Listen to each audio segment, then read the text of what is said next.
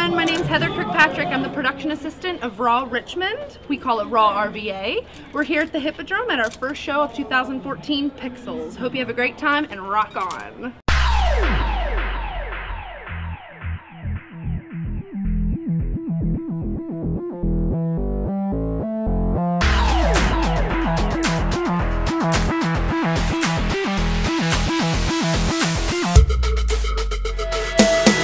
Name is Caitlin and I'm a fashion accessories designer.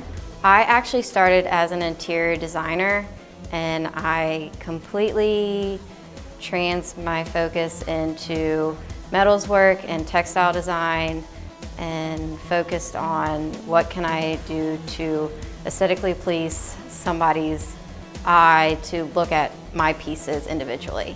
So the favorite part about what I do is probably when I'm completely done with a piece is posting it on my social media or websites and getting the reaction from my supporters, knowing that they would want to put their piece in their home or wanting to wear a jewelry item, just knowing that I've created a piece for anyone to display.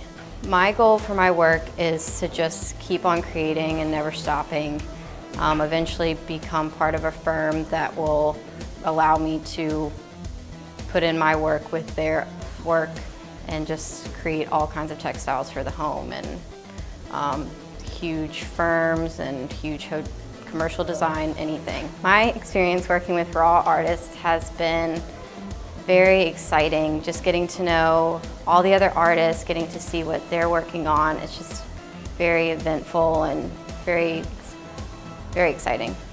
You can find more information about me at www.rawartist.org slash Caitlin McIntire. My name is Caitlin McIntire and I'm a raw artist.